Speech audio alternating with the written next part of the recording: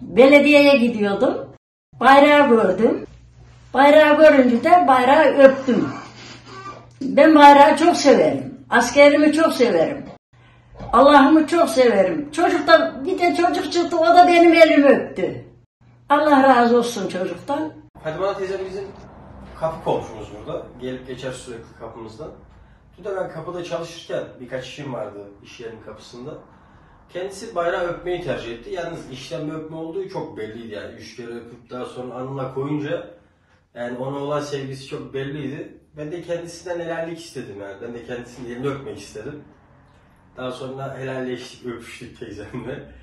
Yani e, 23 yaşındayım. Ya Ortaköy içerisinde böyle bir olaya şahit olmak yani bayrak sevgisinin yaşının olmasını, e, yaşının olmadığını görmek benim açımdan çok iyiydi. Daha sonra bunu işte sosyal medya falan yükleyince biraz ilgi topladı teyzem. Bugün kendisini tekrardan buraya davet ettik. O da kırmadı bizi. Sağ olsun yani. 29 Ekim e, Cumhuriyet sevgisinin yaşında olmadığını bize gösterdi.